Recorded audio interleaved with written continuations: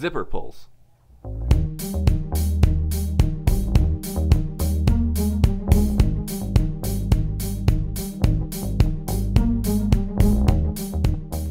Hi guys, today we're going to talk about paracord zipper pulls. One of the questions we get asked the most is how to make your own paracord zipper pulls. Um, many people like to replace the factory ones that they get on a backpack when they buy it. Um, so we're going to be going over how to do that and also some zipper pull ends that we would recommend if you want to have a little bit more finished look. Let's dive in. So I've got a backpack here with a couple of the zipper pulls already taken off. You can see that the existing ones on there are look about like paracord anyway. It's going to be some kind of nylon rope. Um, I'm going to be using 375 paracord. That's going to fit best in in these plastic pulls.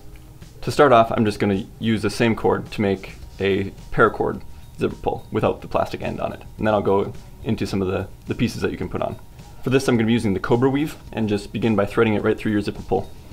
Um, this one doesn't have the metal tabs on it, but you can attach it to the metal tabs too if you'd like.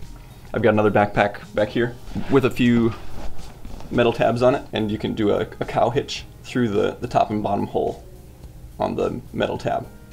These are done with 95 cord. I, I like them, but they're a little bit harder to grab just on the go, so I'm going to be using this bigger cord today. So find the middle of your cord once you thread it through. And then go out about three inches or so and then just begin doing the Cobra right there. It's, it's similar to if you've done a Mad Max closure on a bracelet. You just start making the, the Cobra weave without anything on the end.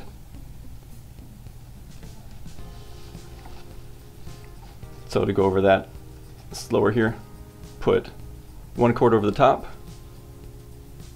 this one over that cord, but then around the back and through the loop. And you want to keep the same cord on top at all times. So this cord here is going to go back and forth over the top. This one's going back and forth on the back side. So lay it over the top again, and then around the back and through. And we'll just do that down the, the short length here.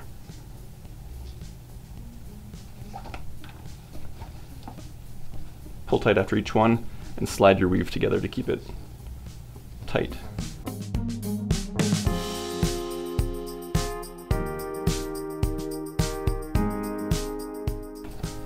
Alright, and then when you get close to your zipper, you can just leave a little bit excess there so it'll hang down and stay out of the way. So I'll just cut the ends off. I only used about a foot of paracord in this, so it's a great way to use up scraps that you have laying around. So I've seen people do this a number of different ways as far as colors. Um, a lot of people like to coordinate the colors or do a separate color for each pocket in their backpack so that it's easy to remember where they put things. Um, one especially good idea that I've heard is, is using red for whatever pocket they have an emergency first aid kit in. So if they were ever in trouble and couldn't help themselves, they could say to anybody else, just get it out of the, the pocket with the red pulls. So that's the straight paracord zipper pull, just using scraps that you might have lying around. Um, now we're going to go over some of the plastic cord ends that you can use, such as this one right here. Starting with those, um, these zipper pulls just usually have two pieces or fold shut in some way. And so to take them off, you'll need like a scissors or a, a screwdriver. To put new ones on, you just stick the, the cords through the end, and this one you have to stick it through this hole as well. And then clamp them in the, the plastic teeth of the insert. Each pull is a little bit different that way. You just have to figure out how yours work. Um, most of them, to get them off, you just can stick a, a scissors or some other tool in the end there.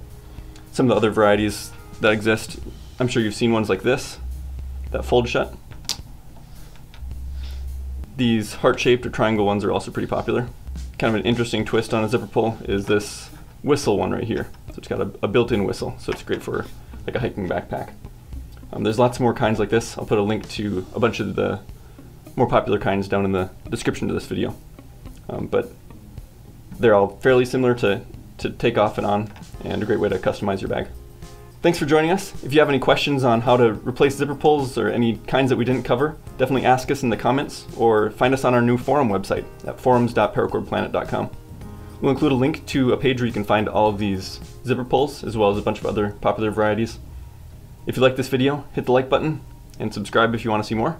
Otherwise, thanks for watching, and we'll see you next time.